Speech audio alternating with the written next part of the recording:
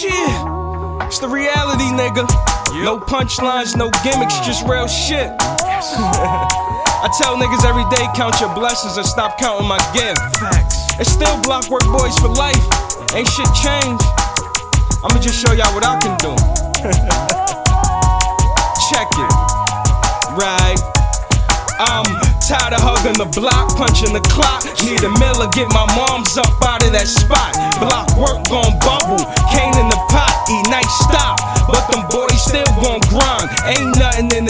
that's gon' stop my shine. Grew up fast, grew up rough, no pops, but the boy still end up tough. It hurt my heart to see my man Dex in that cell. They tryna give him life. I puff L after L, tats on my arm, but a nigga hate art. How can you hang with a nigga, but you still throw darts? Nowadays, I barely answer my phone, respond to a text. This shit got me stressed. Used to sell nicks and dimes just to cop kicks. Played the strip with my man with that on his hip.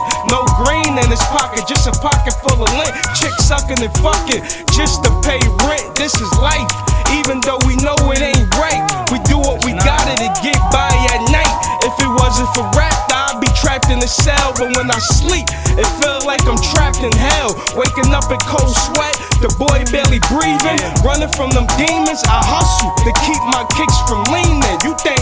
working at Moe's can satisfy my wealth? It's that side hustle that keep them G's on my belt.